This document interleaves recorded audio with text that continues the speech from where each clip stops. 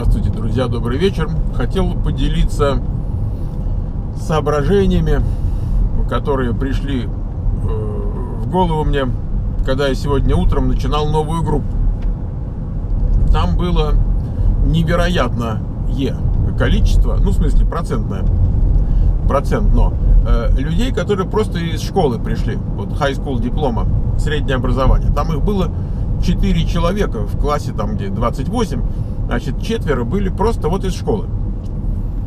Э, ну, не, не прямо так вот из школы, а вот там годик поработали где-то. Вот один там был мальчонка э, такой прикольный, симпатяга, такой американско выращенный. Я не знаю, какой у него там бэкграунд этнический. Ну, такое ощущение, что вот и латинский, но не уверен.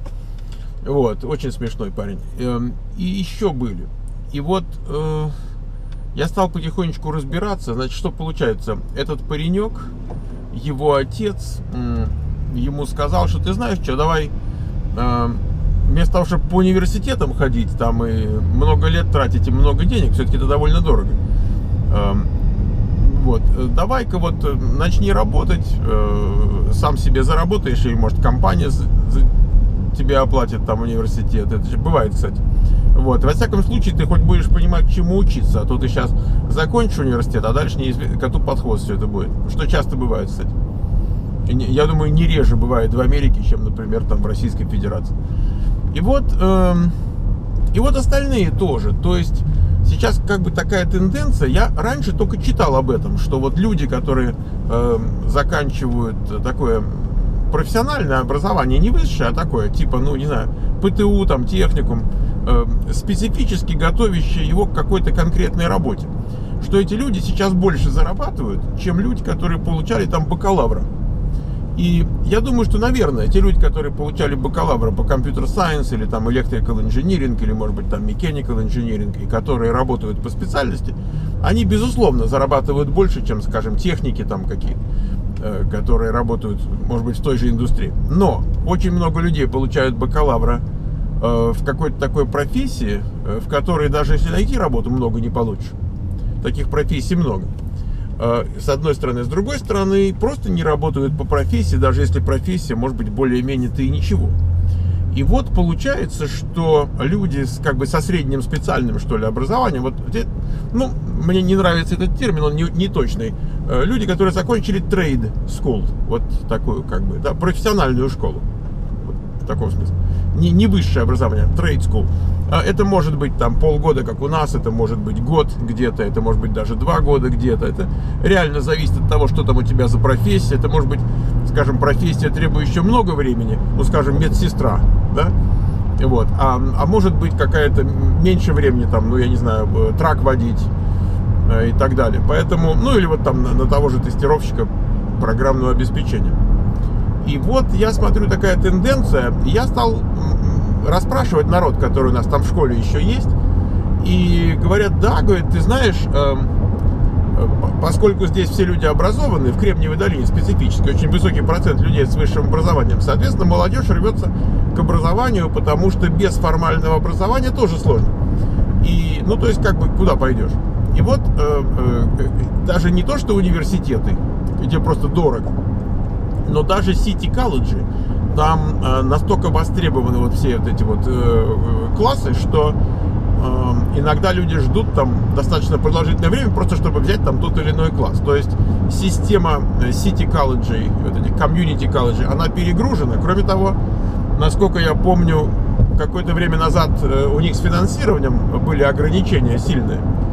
Вот. Э, и как-то она ужалась, вся эта штука. Короче, молодняку не хватает э, не хватает возможности просто учиться, но недорого учиться вот в комьюнити колледже.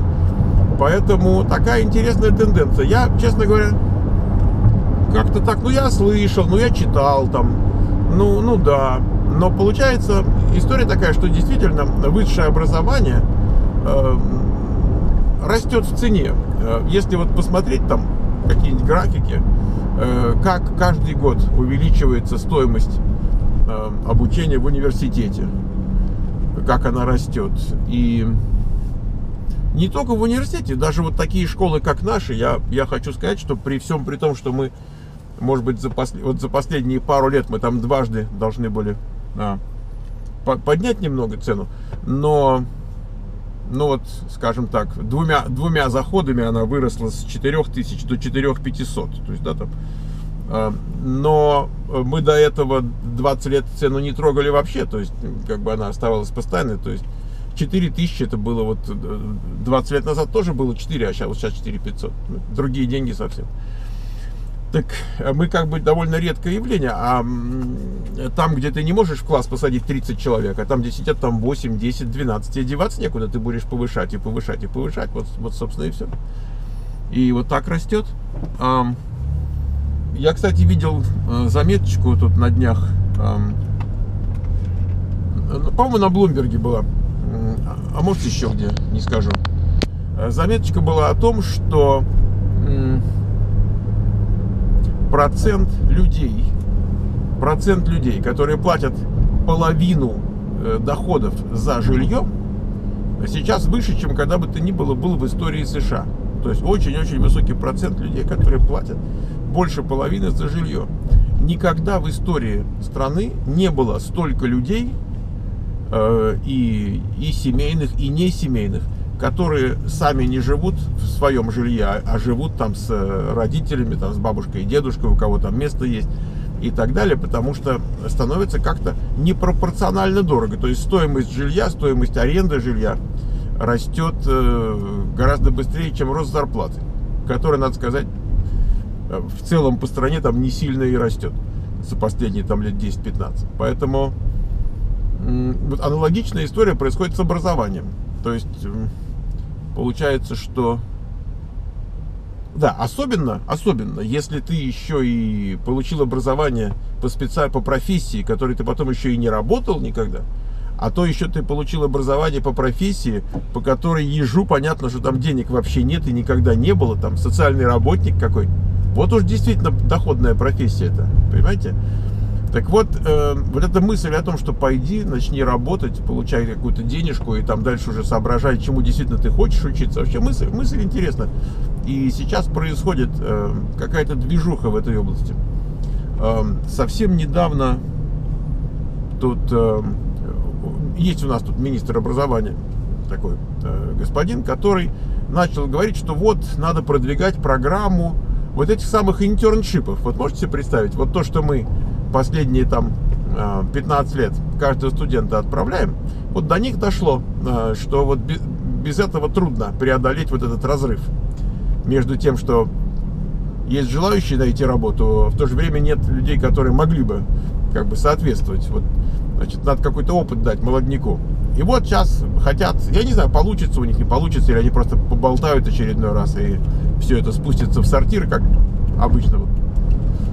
А, не, не только у нынешней администрации, но и у предыдущих тоже. Так, поболтать одно, сделать другое. Но такой, такая мысль была, что вообще надо всю страну там покрыть этими интерншипами, чтобы вот там молодняк работал там тут, там, здесь. Не знаю, кто платить им должен, но мысль в целом правильная, мы же понимаем. Вот. Опережающий рост стоимости абсолютно всего, ну, в данном случае жилья, раз, э, и образование два. Пишут насчет жилья, что просто не строят достаточно жилья для рента. Ну, просто квартирам, грубо говоря. Вот квартир не строят достаточно. Почему это происходит, я понять не имею. Но, не знаю, может так выгоднее даже не строить, я не могу сказать. В общем, вот. Такое ощущение, что меняется парадигма. То есть, с одной стороны, мы видим, что молодняк идет в университеты, да, а, э, во всяком случае, City College так точно не попадешь. Вот там, где дешево, вообще не, не пробиться. Вот. А, значит, профессиональная школа, вот такая, как бы, ремеслуха, так, грубо говоря, ремеслуха, она набирает обороты, потому что она быстро и не так дорого, да, это не то же самое, что в университете там учиться, вот, ни, ни по цене, ни по срокам. А в то же время уже сразу человек начинает работать, выходит на уровень какой-то самостоятельности такой по жизни. И вроде так и дальше можно разбираться там уже. Когда выйдешь на оперативный простор, уже, уже решишь. да. Конечно, это еще усугубляется, когда мы имеем дело с иммигрантами, особенно недавно приехавшими в стране неадаптированными. Эм, это как бы отдельная история. То есть вот то, что я вам рассказываю сейчас, это, в общем-то, касается более-менее местного народа. Вот. И вот, скажем, этот мальчик, с которого я начал, он местный. Он родился тут и вырос тут, и там, кроме английского, ни на каком языке не говорит больше. Вот. Э, но как бы, да. Я думаю, что чисто иммигрантский, так сказать, флейвор к этому делу, да, привкус этого дела. Вот, там уже, конечно, нам более-менее с вами понятен, мы понимаем, что дополнительные проблемы накладываются и с языком, и с прошлым опытом, и с возрастом. Иногда надо бы помоложе быть для таких дел. Ну, в общем, и так далее. Все, друзья, я, собственно, приехал. Так что вам всем счастливо и до скорых встреч.